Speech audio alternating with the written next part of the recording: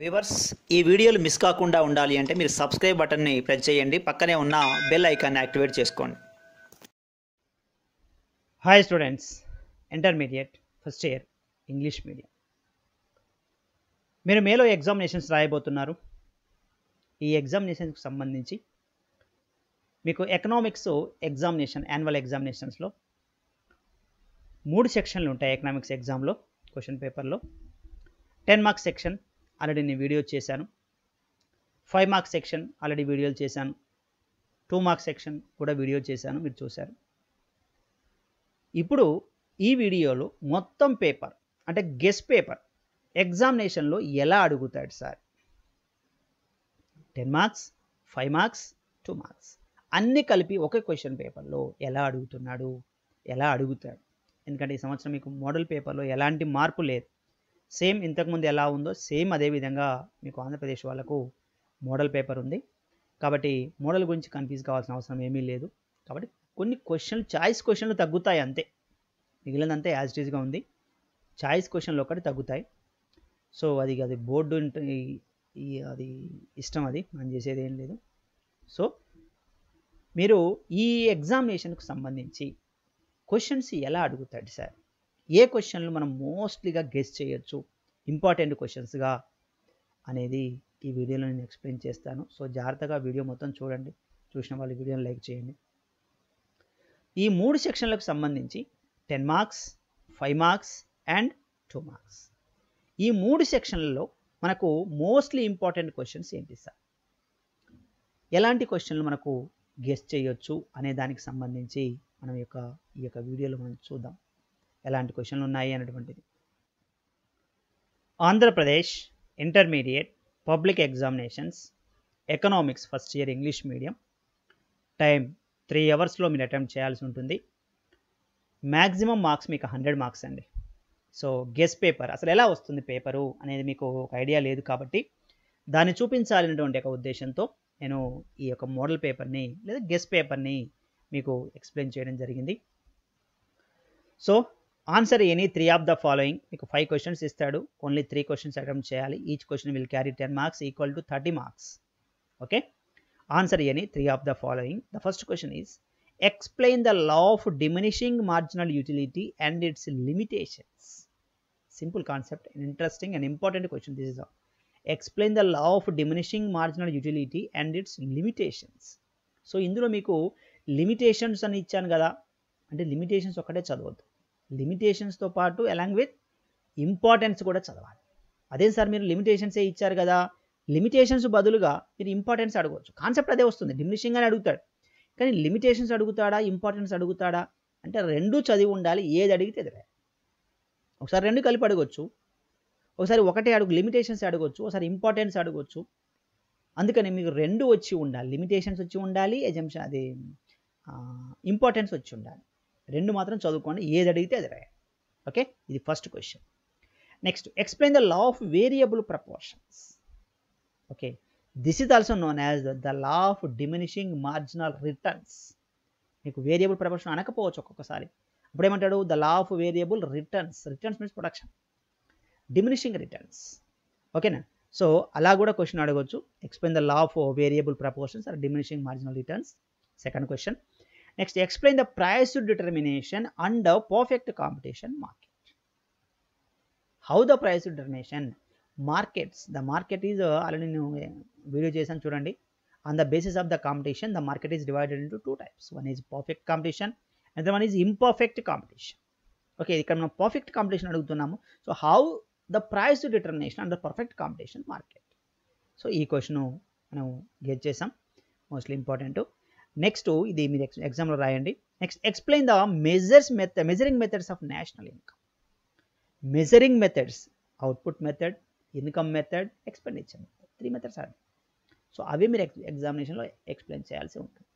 Explain the measuring methods of national income simple easy answer next explain the Keynesian theory of employment fifth question ఒకసారి చూడండి. Keynesian theory of employment అన్నా effective demand అన్నా explain the effective demand అంటే లేదు under employment అంటాడు. Under employment I think ఒక four five years back అనుకుంటా. పిల్లలు ఎగ్జామ్కి వెళ్ళిన తర్వాత బాబు మీకు కీన్స్ థియరీ వస్తుందిరా అని చెప్పాను అక్కడికి పోయిన తర్వాత వాడు క్వశ్చన్ అడిగాడు? Explain the underemployment with graphically అన్నాడు. అండర్ ఎంప్లాయ్మెంట్ ఏంది? సార్ చెప్పలేదు. అండర్ ఎంప్లాయ్మెంట్ అన్నాడు. వచ్చిన తర్వాత ఏం బాబు రాసామంటే సార్ మాకు ఈ క్వశ్చన్ రాలేదు సార్ కీన్షియన్ రాలేదు సార్ మరి ఏమొచ్చింది? అండర్ ఎంప్లాయ్మెంట్ కీన్స్ చెప్పింది అండర్ ఎంప్లాయ్మెంటే. ఫుల్ ఎంప్లాయ్మెంట్ కావాలి అంటాడు. కాబట్టి కీన్షియన్ థియరీ ఆఫ్ ఎంప్లాయ్మెంట్ అన్నా లేదు అండర్ ఎంప్లాయ్మెంట్ థియరీ అన్నా లేదు ఎఫెక్టివ్ డిమాండ్ అన్నా ఒకటేనండి. గుర్తుపెట్టుకోండి. మీ క్వశ్చన్ కన్ఫ్యూజ్ కావడానికి వేరే రకంగా కూడా అడగవచ్చు అడుగుతాడు. అప్పుడు మీరు ఓవర్కమ్ చేయడానికి కీన్షియన్ థియరీ మరొకసారి కీన్షియన్ థియరీ ఆఫ్ ఎంప్లాయ్మెంట్ అని చెప్పిందే ఎఫెక్టివ్ డిమాండ్ మరియు ఆయన చెప్పిందే అండర్ ఎంప్లాయ్మెంట్ థియరీ ఓకేనా సో ఇవి మీకు టెన్ మార్క్స్ సెక్షన్స్ సెక్షన్లో ఉన్నటువంటి యొక్క ఫైవ్ క్వశ్చన్స్ ఇంకో విషయం చూడండి. మీకు ఎక్కువ డయాగ్రామ్స్ ఉండేవి టేబుల్స్ ఉండేవి ఈ టెన్ మార్క్స్ సెక్షన్లో ఫైవ్ మార్క్స్లో రావు ఎక్కువ టేబుల్ డయాగ్రామ్స్ ఇది టెన్ మార్క్స్ సెక్షన్లో టేబుల్స్ డయాగ్రామ్స్ నీట్గా క్లారిటీగా వేసుకోవడానికి ప్రయత్నం చేయండి. ఎంత డయాగ్రామెటికల్గా రాస్తే మార్క్స్ అంత ఎక్కువ పడతాయి ఈ సెక్షన్లో మీకు. అర్థమవుతుందా? కాబట్టి దీన్ని చూసుకొని జాగ్రత్తగా డయాగ్రామ్స్ అన్నీ. ఇంకొకటి మీరు సారు డయాగ్రామ్స్ రాయమన్నాడు టేబుల్స్ రాయమన్నాడు కాబట్టి రాని క్వశ్చన్ సెలెక్ట్ చేసుకోవద్దు. మీకు ఐదు క్వశ్చన్లు వస్తాయి ఎగ్జామినేషన్లో మూడు క్వశ్చన్స్ సెలెక్ట్ చేసుకోవాలి. మీకు తక్కువ మ్యాటర్ ఉన్నది సెలెక్ట్ చేసుకోండి. ఎక్కువ మ్యాటర్ ఉన్నది వదిలేయండి. ఓకే? క్లియర్ కాబట్టి రాని క్వశ్చన్ సారు డయాగ్రాము టేబుల్ వేసుకోమన్నాడు కదా అని రాందాన్ని తీసుకొని కన్ఫ్యూజ్ అయ్యి మధ్యలో వదిలేసి దాన్ని ఆన్సర్ మొత్తం మార్కులు తగ్గించేటట్టుగా చేసుకోకండి. మీ ఐదు క్వశ్చన్లలో ఏ క్వశ్చన్స్ బాగా వస్తాయి అని చూసుకొని ఓన్లీ త్రీ క్వశ్చన్స్ మాత్రమే మీరు అటెంప్ట్ చేయాల్సి ఉంటుంది. ఓకేనా? ఇది ten marks section important section ఎక్కువ స్కోర్ అయ్యేటువంటి ఒక సెక్షన్ ఇది. Okay? Next. Five marks section. ఎక్కువ కన్ఫ్యూజ్ అయ్యేది ఫైవ్ మార్క్స్ సెక్షనే. తెలంగాణ వాళ్ళకి కన్ఫ్యూజన్ లేదు. ఎందుకంటే వాళ్ళకి చాయిస్ ఎక్కువ ఇప్పుడు ఆంధ్రప్రదేశ్ వాళ్ళకి కన్ఫ్యూజన్ ఉంది. ఎందుకంటే ఇంతకుముందు మోడలే ఉంది. ఏముంది? ఇందులో ఎన్ని ఇస్తాడు ట్వెల్వ్ క్వశ్చన్స్ ఇస్తాడండి. ట్వెల్వ్ క్వశ్చన్స్ ఇస్తే మనం అటెంప్ట్ చేయాల్సింది ఎన్ని ఎయిటే. మనకి ఎలా అనిపిస్తుంది? One two three four five six seven దగ్గర అయిపోతాయి అరే ఏడు క్వశ్చన్లే వస్తున్నాయి కదా సెవెనే వస్తున్నాయి కదా ఇంకో క్వశ్చన్ రాదు. మళ్ళీ కౌంట్ చేసిన one two three four five six seven దగ్గర అయిపోతుంది అంటే కరెక్ట్గా ఎక్కువ క్వశ్చన్లు రాసే సెక్షన్ కాబట్టి ఎయిట్కి ఎయిట్ క్వశ్చన్లు రావాలి నీకు. రావాలి అంటే కొంచెం కన్ఫ్యూజు టెన్షన్ పడే సెక్షన్ ఫైవ్ మార్క్స్ సెక్షనే ప్లస్ ఎక్కువ మ్యాటర్ రాయాల్సింది ఫస్ట్ సెక్షన్ ఉంది. ఓన్లీ త్రీ క్వశ్చన్సే రాస్తాం. ఇక్కడ ఎయిట్ క్వశ్చన్స్ రాయాలి. ఓకే దాదాపు దానంతే రాస్తావు కొంచెం తక్కువ రాస్తావు. కానీ ఎయిట్ క్వశ్చన్స్ అటెంప్ట్ చేయాలి కాబట్టి ఈ క్వశ్చన్ చాలా ఇంపార్టెంట్ మీకు స్కోర్ దెబ్బతి దెబ్బతీయటానికైనా స్కోర్ పెరగటానికైనా ఫెయిల్ కావడానికైనా ఇదే సెక్షన్ కాబట్టి ఈ సెక్షన్ జాగ్రత్త ఎందుకంటే చాయిస్ తక్కువ ఉంటుంది. ఎయిట్ క్వశ్చన్స్ రాయాలి. చాయిస్ ఫోరే ఇస్తాడు ఓకే కాబట్టి ఈ సెక్షన్ చాలా జాగ్రత్తగా చదువుకోవాల్సిన అవసరం ఉంటుంది. చూద్దాం ఒకసారి క్వశ్చన్స్ అవి. Explain the definition of Jacob Viner Jacob Viner definitions అడుగుతున్నాడు. Next define and distinguish between free goods and economic goods simple ఒక టేబుల్ వేయండి. ఆ టేబుల్ తోటి one side free goods and one is economic goods దాన్ని explain చేయండి. Next what are the characteristics of indifference indifference curves ఉన్నాయి? Curve matter ఉంది. ఒక five points ఏమున్నాయి అవి ఎక్స్ప్లెయిన్ చేయాలి. Okay next why a demand curve slope has a negative simple answer why a demand curve slope has a negative అంటున్నాడు. So అది మీరు రాయాల్సి ఉంటుంది. Next explain the exceptions to the law of demand exceptions law of demand law of డిమాండ్కి exceptions ఏమి అది రాయాల్సి ఉంటుంది. ఏముంది? సింపుల్ గివెన్ పారాడాక్స్ కావచ్చు లేకపోతే ప్రిస్టేజియస్ గూడ్స్ కావచ్చు లేదా స్పెక్యులేషన్ కావచ్చు ఇవన్నీ ఇల్యూజన్ కావచ్చు ఇవన్నీ ఎక్స్ప్లెయిన్ చేయాల్సి ఉంటుంది. Okay? Next what is price discrimination and explain its type discrimination first definition రాయాలి. వాట్ ఈజ్ ప్రైస్ డిస్క్రిమినేషన్ అన్నాడు డిస్క్రిమినేషన్ రాసి వాటి టైప్స్ రాయాలి. Okay? Next explain the concept of quasi rent మీకు ఈ డిస్ట్రిబ్యూషన్ థియరీలో మిగిలింది ఒకటే ఒకటే కాన్సెప్ట్ ఒక థియరీ ఆఫ్ రెంటే మిగిలిన థర్టీ పర్సెంటేజ్లో లేపేశారు దాన్ని. లేవు ఇప్పుడు. కాబట్టి explain the concept of quasi rent concentration చేయండి క్వశ్చన్ని next what the determinants of national income determinant factors of national income national income పెరగాలన్నా తగ్గాలన్నా ఏ ఫ్యాక్టర్స్ ఇన్ఫ్లుయెన్స్ చేస్తాయి? Next what are the source of public revenue public revenue source ఏంటి? అంటే గవర్నమెంట్కి revenue ఎలా వస్తుంది అని చెప్పడం next explain the functions of money money functions ఏంటి? Next explain the types of inflation చూడండి simple types of inflation creeping inflation running inflation hyper inflation ఇది types of inflation demand push inflation cost push inflation demand pull inflation so ఇవన్నీ types of inflation explain చేయాల్సి ఉంటుంది. Next what is the relationship between economics with economics and statistics what is the relationship between economics and statistics okay so ఇవి మీరు ఎగ్జామినేషన్లో వచ్చేటటువంటి question maximum ఇవే క్వశ్చన్లు వస్తాయి. ట్వెల్వ్ క్వశ్చన్స్ వస్తాయి. మీరు ఎయిట్ అటెంప్ట్ చేయాలి. ఓకే సో ఈ క్వశ్చన్లు అన్నింటిలో వచ్చిన దాన్ని మాత్రమే చూసి సెలెక్ట్ చేసుకొని రాయండి కానీ సగం సగంలో వదిలేస్తే మార్క్స్ అనేవి పోతాయి. సో ఈ క్వశ్చన్లు చాలా ఇంపార్టెంట్ ఒక్కొక్కసారి ఏమవుతుంది? ఫైవ్ మార్క్స్ క్వశ్చన్స్ కదా అని ఫైవ్ పాయింట్సే రాయొద్దు. అంటే వాటికి సపోజ్ సెవెన్ పాయింట్స్ ఎయిట్ పాయింట్సే ఉంటాయి. మీరు ఫైవ్ మార్క్సే కదా అని ఫైవ్ రాశారనుకోండి ఆ మిగిలిన two two points three points రాలేదని మార్క్ కట్ చేస్తారు. మీరు ఫైవ్ మార్క్స్ క్వశ్చన్స్కి ఎన్ని పాయింట్స్ ఉన్నా కూడా అన్ని పాయింట్స్ ఒక్కోసారి టెన్ మార్క్స్ ఫైవ్ మార్క్స్ అడగవచ్చు ఫైవ్ టెన్లు అడగవచ్చు దానికి మ్యాటర్ ఎంత ఉంటే అది ఖచ్చితంగా రాయాల్సింది. ఓకేనా? సో ఇది మీరు ఫైవ్ మార్క్స్ సెక్షన్కి సంబంధించినటువంటి కాన్సెప్ట్ నెక్స్ట్ టూ మార్క్స్కి వెళ్దాం.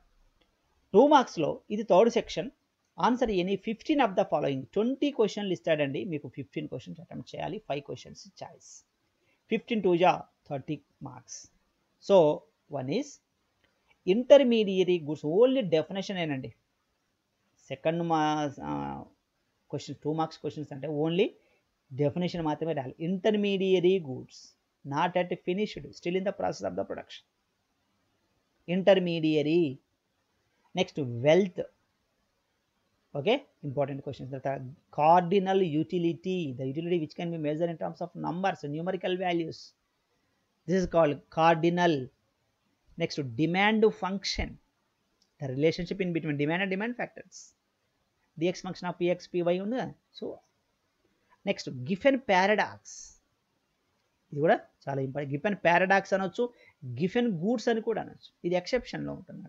లా ఆఫ్ డిమాండ్లో ఎక్సెప్షన్లో ఉంటుంది. గిఫెన్ ప్యారడాక్స్ అనొచ్చు గిఫెన్ గూడ్స్ అనొచ్చు. లేదు ప్రొడక్షన్ ఫంక్షన్. చూడండి పైన డిమాండ్ ఫంక్షన్ అడిగాడు ఇక్కడ production function. Relationship in between output and inputs. అదే production function. Next monopoly single seller.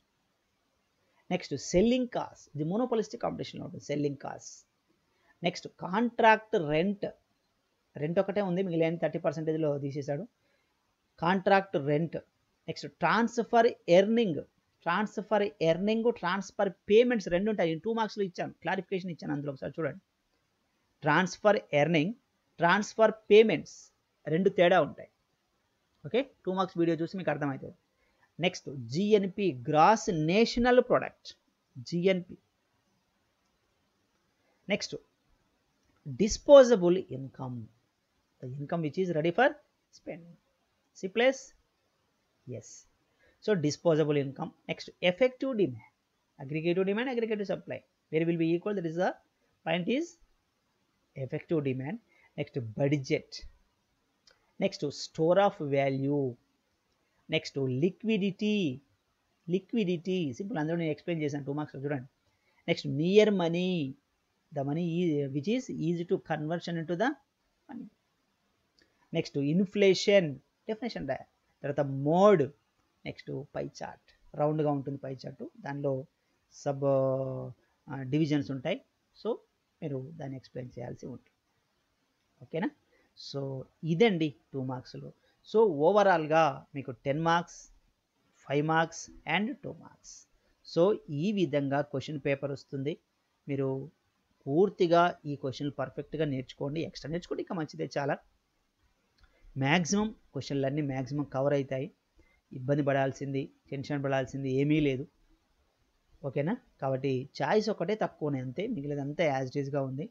కాబట్టి ఫస్ట్ ఎలా రాయాలి ఏం రాయాలి అనేది మీరు నైంటీ నైన్ మార్క్స్ పొందడం ఎలా అనే వీడియో ఉంది అందులో చూడొచ్చు.